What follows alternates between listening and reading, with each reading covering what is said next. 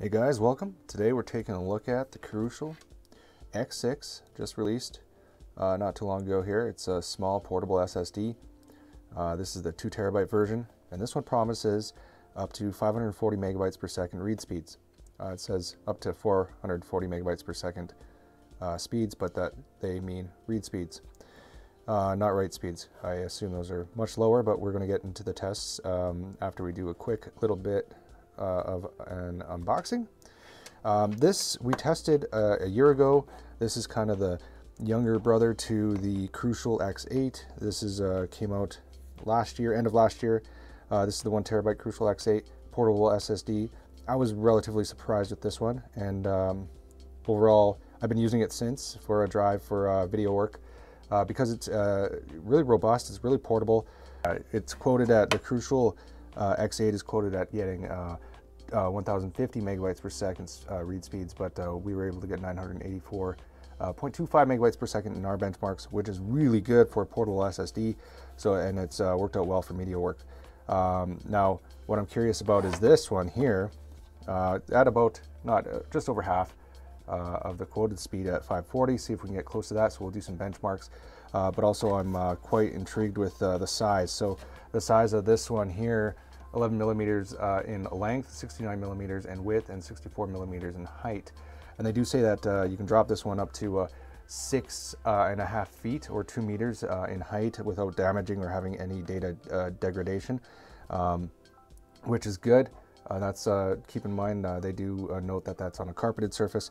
the Crucial X8, which was interesting, I think, is they had it at seven and a half feet, which so I'm curious why uh, even uh, kind of the lighter version of uh, this one um, wouldn't be able to substantiate quite as much of a fall, but uh, no complaints there. Six and a half feet uh, is still uh, is still pretty lofty. Yeah, seven and a half feet for the Crucial X8, so a, a foot more you can drop it. not that that matters too much, but I'd be curious to actually test that out. also to note is that the Crucial X6 does not come with one of these ones. Um, it comes with a USB-C to a USB-C. Does not come with a USB-C to a USB-A. Uh, so if you don't have uh, a USB-C, uh, you want one of these, you can probably get them for about 10 bucks. Uh, whereas the Crucial X8 does come with that included in the box, so you can uh, factor that into the costs. Let's take a look at the two terabyte version of the Crucial X6. So we're gonna pop this bad boy uh, open. Um, overall in shipping, there was kind of some dents on the box, which is okay uh, but um, looks like it was thrown around a little bit, but I digress. I'm just gonna open it up, see what's inside, which there'll be no surprises. All right, here is the Crucial X6 in all its beauty and form and small form factor size. Uh, quite honestly, uh, initial thoughts when I took it out, I actually envisioned it being a, a teeny bit smaller, but it is very small and compact. And here I'll show you close to the Crucial X8. Um, you know, if you put them, here I'll take it out of the package first, but um, it is smaller, but not in height. So let's slide that out. So, wow, it's actually surprisingly light. It's really light, like I'd say like USB key sort of light. um, wow, it's kind of like almost airy uh, but also feels robust at the same time. The actual casing is not as not as uh, secure feeling as the X8. This one, so I, when I pick up the X8, it, it, does have a little heft to it. Uh, side by side, you can see a teeny bit taller. It's kind of this big square almost, and uh, put them like this. Uh, the size is, uh, yeah, as you can see. Kind of the width is almost the equivalent, but uh, height is more, but width isn't. Uh, and it's also lighter and more airy, which is interesting. But it is a different plastic.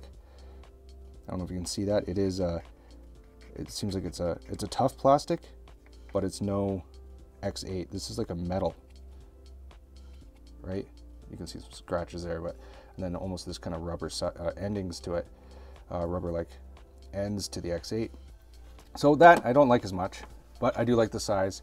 And it looks like, an, like it almost looks like an, I can just pop this end off and get inside relatively quick. And then we have the instructions that come with it. And then the only other thing is the USB-C uh, to USB-C uh, cord. But um, like I said, if you do not have a USB-C end, you, you might want to get one of these ones. It's uh, about 10 bucks uh, to USB-A. Okay, we're going to do a quick little benchmark here on the Crucial X6. Uh, what we're using today is just a basic benchmark the, uh, using the Crystal Disk Mark uh, version 7.00. Uh, what we're going to do is do five runs of one, uh, five runs of uh, one gigabyte files onto the Crucial X6, and then we'll report in megabytes per second what we get, um, and see if we can get up to the quoted speeds. All right, here we go.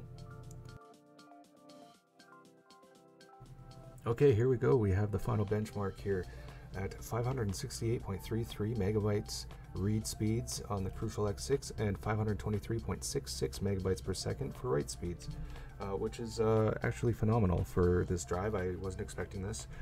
Mm, the drive is quoted at 540 megabytes per second. Uh, sequential read speeds from uh, uh, Crucial themselves right on the box, and we've exceeded that at 568.33 and even got close to that uh, with our write speeds. Uh, not that that is the quoted write speed, but I'm surprised that we even got fairly close at 523.66.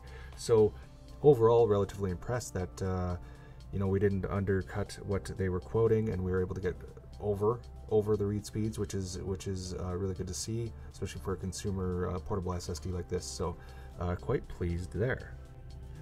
So now I want to compare just quickly uh, the results we got on the Crucial X8, which came out last year, and this was on the one terabyte version, but it should perform very similarly. Last year we got 984.25 uh, megabytes per second uh, read speeds and write speeds at 974.89, and then when you compare that to the X6, at uh, 568.33 read, uh, megabytes per second read speeds and 523.66 megabytes per second write speeds. Uh, we can see that obviously the, the X8 we know that performed a lot better, uh, but for a cheaper, smaller drive, uh, in comparison, it's not too bad. And then just quickly switching over here, I just want to just, you know, crunching the numbers a bit.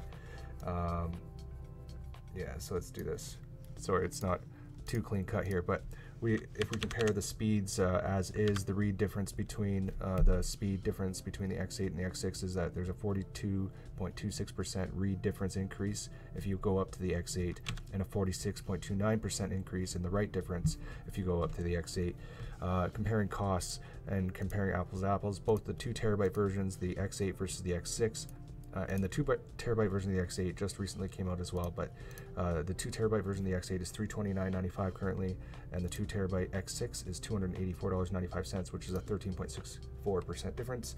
So if you are kind of hemming and hawing on whether you should get the X6 versus the X8, and you want to save 13.64% or the difference between uh, 320 $330 and $285, uh, you know, so uh, 30 $50 difference.